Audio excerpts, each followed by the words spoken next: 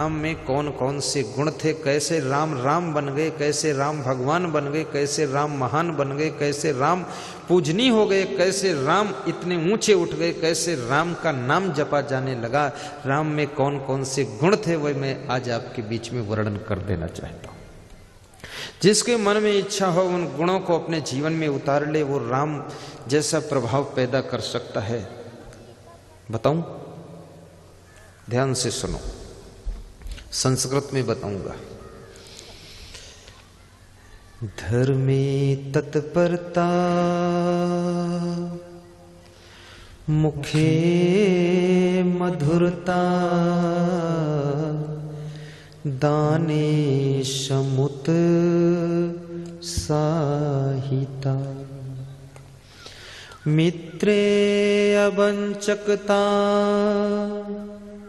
गुरो विनयता। चित्तयित गंभीरता। आचार्य सुचिता। गुणे रसिकता। शास्त्रेषु विज्ञात्रता। रूपे सुंदरता शिवे भजनता त्वयिमस्ति वै राघवा। त्वयिमस्ति वै राघवा।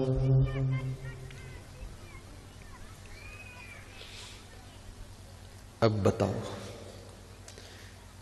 ये संस्कृत में बोला हूँ, इसका अर्थ हिंदी में बता दूँ तो ज़्यादा अच्छा रहेगा। सरल हो जाए, सबके समझ में आ जाए। क्योंकि बहुत सी बातें सत्संग की इतनी कठिन हो जाती हैं कि लोगों के पल्ले नहीं पड़ती हैं, लेकिन मेरी सभी सत्संग की बातें इतनी सरल हो जाती हैं कि अगर पड़ोस में कोई बैल खड़ा हो भी समझ जाता है क्या कह रहे हैं। भाषा वो बोलनी चाहिए, व्याख्या वो करनी चाहिए, परिभाषा वो देनी चाहिए, जो कि हर व्यक्ति के समझ में उतर जाए। विद्वता का महत्व नहीं है, शुद्धता का महत्व है, व्याकरण का महत्व नहीं, आचरण का महत्व है, याद रखना। अगर व्याकरण गलत हो जाए, चिंता की बात नहीं है, लेकिन आचरण गलत हो जाए तो सारी ज़िंदगी चिंता में ही जलती रहती है।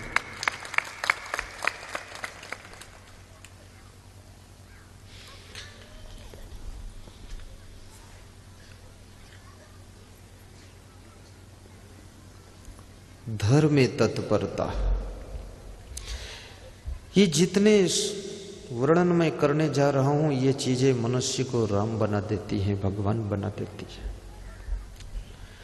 ये चीज़ें जिसके अंदर विकसित हो जाती हैं, जिसके अंदर डेवलप हो जाती है, वो व्यक्ति भगवत तुल्य हो जाता है, प्रभु बन जाता है। शास्त्र कह रहे हैं, मैं नहीं कह रहा हूँ, कबीर नहीं कह रहे ये बात तो नीति शास्त्र की मैं बता रहा हूँ। धर्म तत्परता।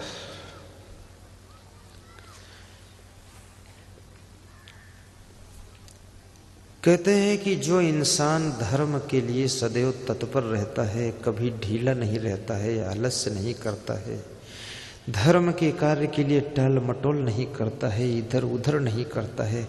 धर्म की रक्षा के लिए, धर्म को बढ़ाने के लिए, धर्म का विकास करने के लिए, धर्म की महिमा को ऊँचा उठाने के लिए जो व्यक्ति तन से, मन से, धन से, हर चीज़ से समर्पित रहता है, उसके अंदर समझ लेना कि राम का लक्षण दिखाई दे रहा है। पहली बात।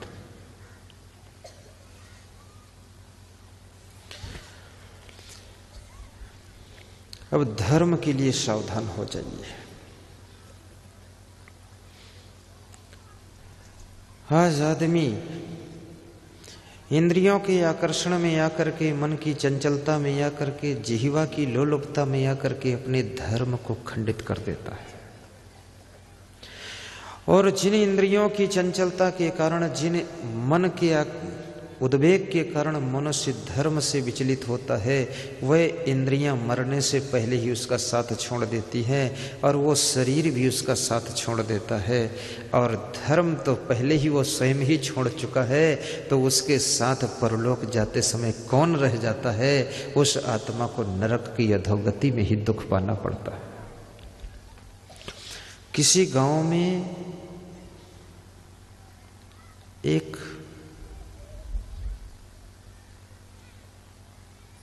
आदमी रहता था।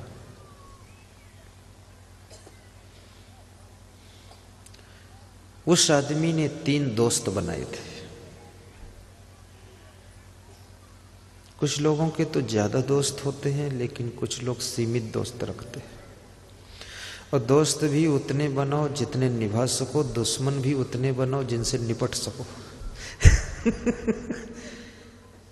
कहीं इतने दुश्मन न बना दो कि तुम ही निपट जाओ। इसलिए दुश्मनी भी बहुत बढ़ाना नहीं चाहिए और दोस्ती भी ज़्यादा फिर डीलिंग करने में कठिनाई आती है। और फिर प्रीति हो गई तो निभाना पड़ता है, ना निभाओ नो तो प्रेमी फिर दुखी नाराज़ होते हैं। प्रीति करो, निर्वाह करो, अनरीति करो, वही कहना है बाढ़ी की प्रीति, यथा वही तो दुख सुख सब सहना है। तो जो सेठ था, आदमी था, उसके तीन दोस्त थे। बाबा, सामने देखो, सो जाओ। तीन दोस्त थे।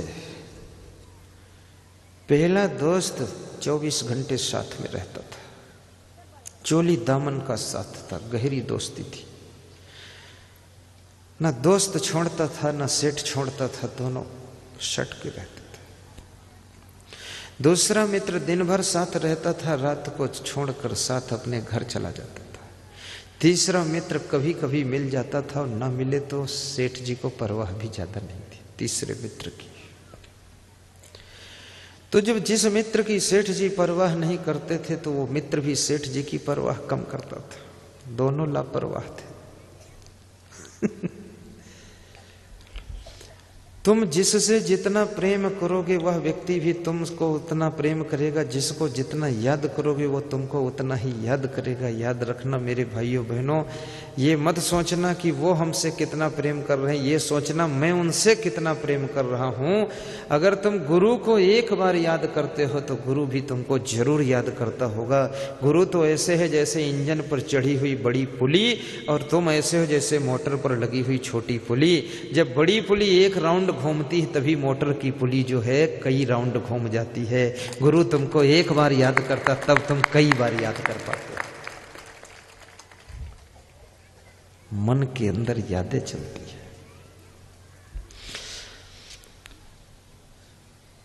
महान संत को सुबह शाम बैठ करके ध्यान में याद कीजिए।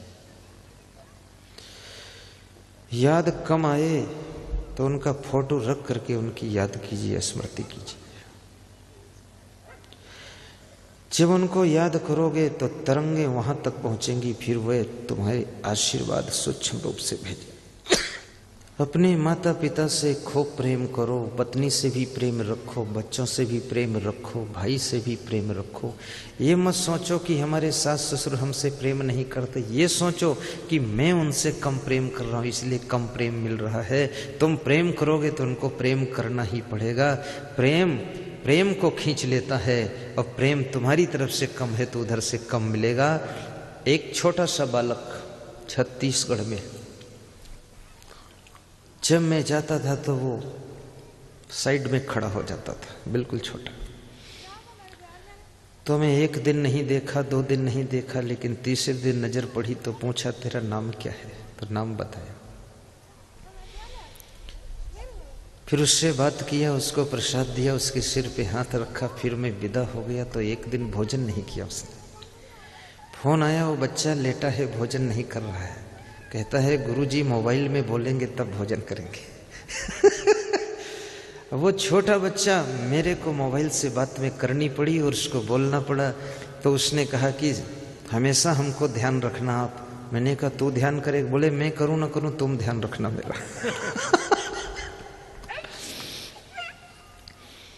तो ये प्रेम की लगन ऐसी होती है, आप प्रेम कीजिए, अगले व्यक्ति को आपसे प्रेम करना ही पड़ेगा। और प्रेम में वह शक्ति है कि भगवान को भी प्रेम में बंध जाना पड़ता है तो इंसान की तो बात ही क्या है? प्रेमवा में भूले भगवान हो, शेवरी के घर में प्रेम में कृष्ण भूल गए थे, विदुर जी के साग भाजी में, और प्रेम में राम भूल गए थे, शिवरी के बेर में, और प्रेम में ही ये संत नेपाल बॉर्डर से आकर भूल गए हैं मारू बरडिया में। ये प्रेम का ही खेल है कि इतनी दूर आना जब हम आश्रम से चलते हैं, हमको ऐसा नहीं लगता कहीं बाहर जा रहे हैं, ऐसा लगता है अपने सब प्रेमी भक्तों में जा रहे हैं, सब जगह आनंद ही आनंद है। पूरे भारत के सत्रह प्रदेशों में मैं जाता हूँ। और जहाँ जाता हूँ, वहाँ वही प्रेम की गंगा बहा दो बस आनंद ही आनंद है। तो मैं आपसे कहूँगा, सबसे पहले प्रेम का सागर अपने घर में लहराइए, अपने घर को आनंद से भर दीजिए। लेकिन यह भी याद रखना, जो व्यक्ति गम नहीं खा सकता है, उसका प्रेम मृतक हो जाता है। जो व्यक्ति त्याग नहीं कर सकता, उसका प्रेम भी मर जाता है। जिसके अंदर त्याग है, गम खाने की शक्ति है, सहने की शक्ति है, उसी की ज़िंदगी में प्रेम का पौधा हरा भरा रहता है, अन्यथा प्रेम सूख जाता है। इसलिए कुछ कुछ त्याग करना सीता जी ने राम के प्रेम को निभाने के लिए अंगूठी का त्याग कर दिया था, सोना का त्याग कर दिया था। राम के प्रेम को निभाने के लिए अविद्या के सुखों को त्याग कर दिया था, लक्ष्मण जी राम के साथ चले गए थे। प्रेम केवल त्याग माँगता है, त्याग माँगता है। भाई का प्रेम निभाना है, त्याग सीखिए। माता पिता का प्रेम निभाना है, त्याग सीखिए। और मैं आपसे सही निवेदन ये करता हूँ, यदि आपके अंदर त्याग है तो आप विश्व में कहीं चले जाओ तो हमको ज़्यादा प्रेमी ही प्रेमी मिलेंगे, नालायक बहुत कम मिलेंगे। गलत लोग भी प्रेमी हो जाएँगे। बिहार में मैं गया था तो एक गाँव में समागम था तो मैंने कहा, बड़ा प्रेम इस गाँव में है। बोले, आधे चोर रहते इस गाँव में। तो हमने कहे तो बहुत प्रेम कर रहे हैं। बोले, आप प्रेम कर रहे हो तो प्रेम कर रहे हैं, बाकी है गाँव गलत। तो मैंने कहा, सत्संग सुनकर कुछ सुधार होगा। बोले, सुधार पूरा होगा। जब मैल कपड़े में लगा है, साबुन लगेगी तो मैल ज़रूर छूटेगा। उस गाँव में भारी परिवर्तन आया। अगर तुम किसी संत से प्रेम करोगे तो निश्चित है तुम्हारे अंदर सुधार शुरू हो जाएगा। वेश्या से प्रेम करोगे, तुम्हारे अंदर बिगाड़ शुरू हो जाएगा। शराबी से प्रेम करोगे, तुम भी शराबी धीरे धीरे बन जाओगे। जुआरी से प्रेम करोगे, जुआ खेलने की आदत पकड़ेगी। और संत से प्रेम करोगे, भक्ति करने लग जाओगे। और भक्त से प्रेम करोगे तो उसके साथ में कभी सत्संग मारू बरडिया में सुनने आ जाओगे। गुरु की संगत से बहुत फ़ायदा है गुरु के चरणों में बहुत लाभ है गुरु के चरणों में सुख भी है शांति भी है संपत्ति भी है उन्नति भी है विकास भी है सम्मान भी है यश भी है कीर्ति भी है नाम भी है धनधाम भी है सब काम भी है विश्वामित्र गुरु के चरणों में राम जुड़ गए थे तो राम विश्व के मित्र बन गए थे राम भगवान बन गए थे गुरु क्या नहीं बना सकता है तुमको? एक मूर्तिकार जब पत्थर में हाथ लगाता है तो भगवान की मूर्ति बन जाती है, उस पत्थर की पूजा शुरू हो जाती है, और जब ये गुरु किसी इंसान के सिर पे हाथ धरता है और चरणामृत पिलाता है और अपने आचरण उसके अंदर प्रेषित करता है तो उस इंसान के अंदर महान मूर्ति बनती है, भगवान की मूर्ति बन जाती है।